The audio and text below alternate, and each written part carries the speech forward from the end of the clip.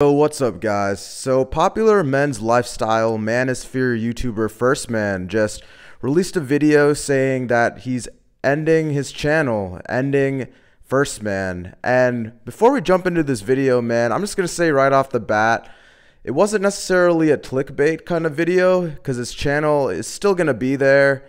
He's not deleting it. He's not deleting any of the videos, but just the content, the type of content that he's going to be posting on his channel really is changing to more just genuinely great stuff going on in his life. Stuff that's not so manosphere related, but stuff that he likes to do for fun.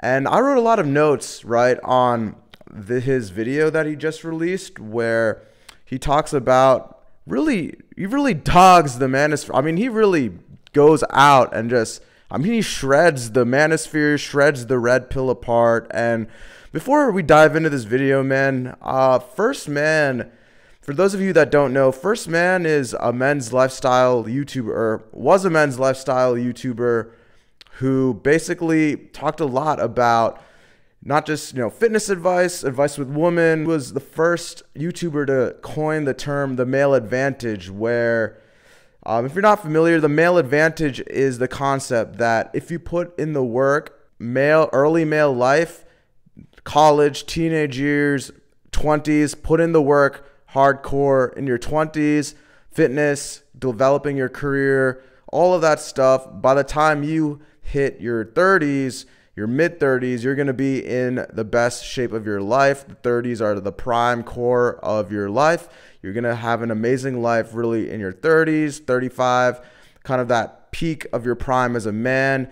Um, he kind of coined the concept the male advantage. His videos, they weren't always flashy with the special effects. They didn't have that background music. He was just a raw, authentic dude, just genuinely preaching his thoughts on camera, man. And when you look at the manosphere today, there's really not many other YouTubers who do that. There's really not many of them left. What First Man did was what I really liked about him was he was just a very genuine dude just trying to help men out there. And the reason he left the manosphere as he talks about in his recent video is because he just feels like there aren't genuine people really he's just disgusted by it. He's disgusted about the type of things that people in the manosphere preach today on how to become a high value man. And it's funny dude because i and it's funny man because i wrote down i watched his video um, just a little while ago called the end of first man and where he basically is talking about why he's again, not deleting his channel, but going to be switching his focus to other better things in life. And when I tell you, man, he dogged, he really dogged these red pill content creators. He really took a shit on the manosphere. I mean, he really, he really took a shit on the manosphere, man. I mean, I wrote down like all of this stuff, a lot of notes, man. And I mean, this is some of the stuff he said. And it's crazy how much I resonated with this stuff, bro. Uh, the manosphere just showing off toxicity, rather than providing actual substance. This is this is all stuff First Man said in his video, by the way. The manosphere, men's lifestyle does literally nothing but tell men to and I'm paraphrasing a little bit because he was talking pretty fast, but this is some of the stuff he said. Men's lifestyle content turning men into the thing that they preach so much to just be against, turning men really into the matrix rather than against the matrix. They're very inauthentic, these high self made millionaire top 1% men. All they do is sell crazy online courses, smoke cigars. They milk all this advice, give delusional advice. If you genuinely, this one was facts, man. I really resonated with this part where he's like, if you want to genuinely help people, why is your course priced at 1500 I mean that that's facts right there, man. Why the hell is your course priced at fifteen hundred if you want to genuinely help people? And I'll, I'll just bullet point a few more points because there's so much he said in this video that like he really he was so spot on, man. I mean, how you guys got nothing but digital products? How many how many girls do you guys actually have on your own arm? The leader of the manosphere started out as trying to become a reality TV star on Big Brother, which, for those of you who aren't aware, he's referring to Andrew Tate. Um, his really first, he wanted to become like a reality TV star like years ago on this CBS TV show. I think it's called, it's called Big Brother. I've heard of it. I've never watched an episode, but then he goes on to say everybody on the internet these days has been in the manosphere has been acting like an 18 year old. Um, you can be a high 1% man. You don't need any type of supercar. You don't need cigars. And this is the part where I really, really thought was awesome, where he was just like, I don't have a Ferrari. I don't have Gucci shoes.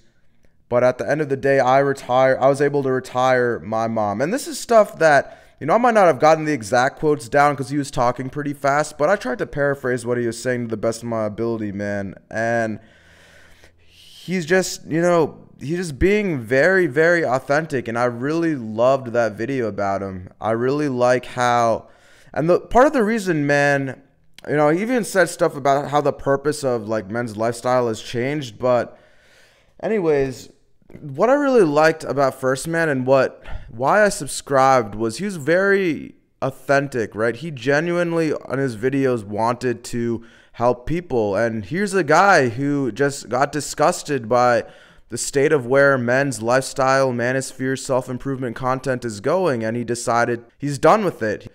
And he even brought the point that everything you need to succeed to level up in this world is just done. Like it's on his channel. If you need advice on a topic, just go to his channel. It's all there.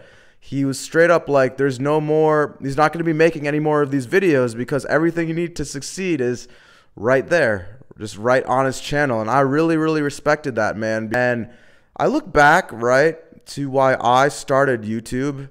I wanted dating to be one of the main topics, but as I've come to realize, man, it's like, how much fucking dating content can you really be consistently putting out there where you're not really like regurgitating the same thing. And I'm not saying I'm going to just pause and not put out dating content. I still will, but at some point, man, it's like you got to either kind of branch out or you got to just switch and make it more unique and just because at the end of the day, it's all the same stuff. Like dating content like, how many times can you say the same thing but in a different type of video, you know? Like, you guys aren't stupid. You know what girls want, man. It's not a complicated rocket science. Dress well, take care of yourself, be confident, have a great lifestyle, be able to carry out a conversation. And what he first man was really saying in this in his recent video was just like all, all of these red pill guys, they're all bullshit. Thing is, you know, I'm guilty of it to a certain extent when I started this YouTube channel, I had a lot of stupid, cringy videos in the beginning of it talking about red pill this, red pill that. And what I've come to realize is fuck all that. And what I've come to realize is it's all BS, bro. It's all BS. Like, all it's doing is just brainwashing you into one single ideology. And that's not the way it should be. That's not the way it is. That's not the way it should be. And as being somebody as somebody who's watched First Man's channel a lot, you know, what I really the other thing I really respected about him was how he talks about you know, he's not red pill this, he's not red pill that. First Man's real name is Chris, that's his first name, but he would always say like he's not red pill, he's just Chris. He's just a guy who views things this certain way. And I really respected that, man. I really respected that. And at the end of the day, he's right it's just a bunch of fake marketing, just people selling all these expensive courses.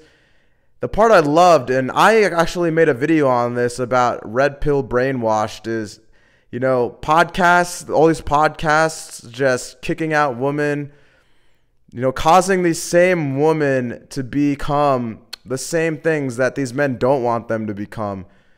I mean, really think about it, man. You gotta take all these women, they go on a podcast, Next thing you know, they walk off the podcast and bam, thousands of more followers, right? He's right because I look at my own content too, and I'm not saying I'm anywhere near to that amount of subscribers that he has, obviously, but I've just noticed with the very small audience that I do have, the content that doesn't have the stock images or the stock photos or the stock videos, the special effects, all the raw content such as this, right? Where without, you know, the stock videos, without the background music, all the raw longer form content.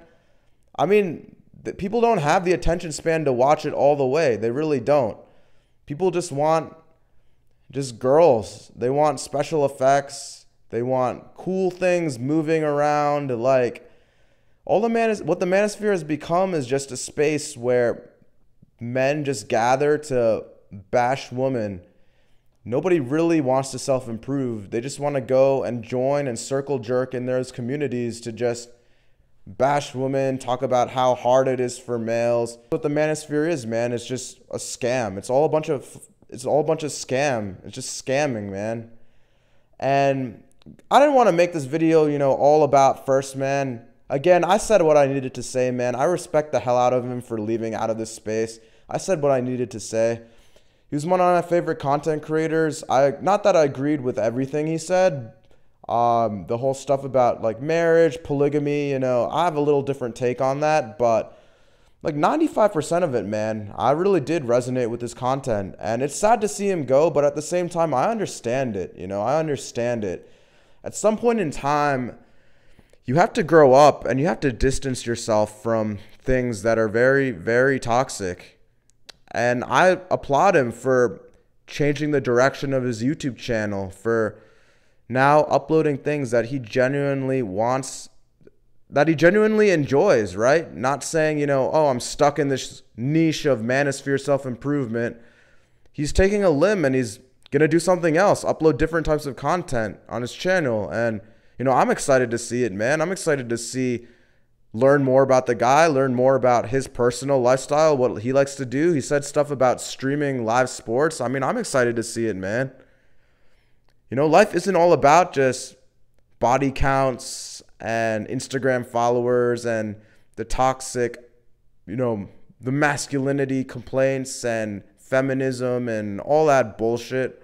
Life's not all about that, man. So, anyways, guys, going on to the direction of my personal channel, man, I know the growth has been slow, but I really also, you know, I want to change the direction of some of this type of content that I've been posting not focus it so much on girls, girls, dating this, dating that.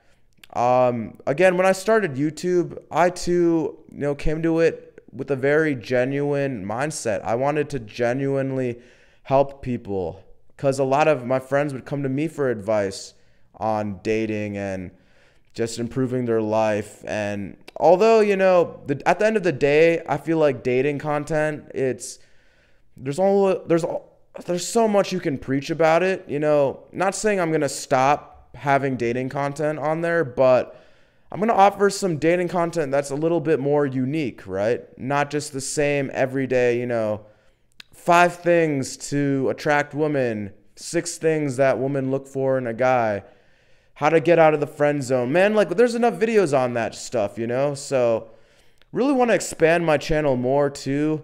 Another thing that I've been very passionate about is mental health. I think for some reason the manosphere doesn't talk about mental health enough. It just doesn't. And for me, you know, I mean, I'll say it, right? You know, I've struggled with mental health. Everyone's struggled with mental health at some point. I think we need to talk more about mental health, right? just improving our lifestyle is in general, living a healthy life, not being so toxic, having a positive mindset, man. So definitely want to have more videos on mental health coming up too because as a men's lifestyle content creator, man, you can't ignore mental health. They really don't talk about just mental health in general, depression. Um, you know, a lot of these guys, Sneako, they're just so I think ignorant and they're so focused on just that one part of life. It's like you don't really know these guys personally outside of that one part of life, right? Manosphere this, body counts, feminism, girls, girls, girls, like have a Ferrari, million dollars. It's like what about the other parts of life, bro? So definitely when it comes to mental health, I want to be posting more topics definitely related to that in the future. Not just, you know, the dating and self improvement, but mental health as well, man. So, really, the video, really, man, today's video was just a reaction to one of my favorite content creators, First Man, just calling it quits more so on the self improvement content and just changing the direction of his channel, which I respect the hell out of him, man, because I get it. How much more can you talk about girls this, girls that, body count this, body count that, 1% man, right? Ferraris.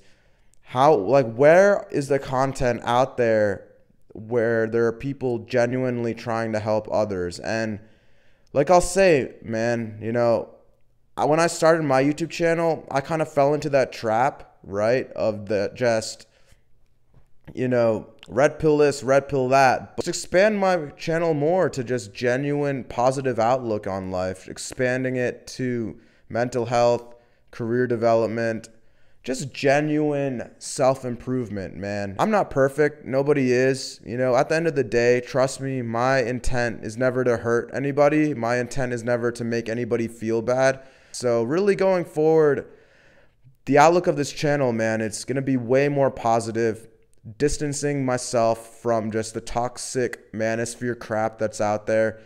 Stop being so narrow minded with all this red pill bullshit really just living life with a positive outlook on self improvement and developing as a man and becoming the best possible version of yourself. So, anyways, guys, that's my thoughts on the whole end of the first man thing and the future of my channel and the direction I want to take it on self improvement.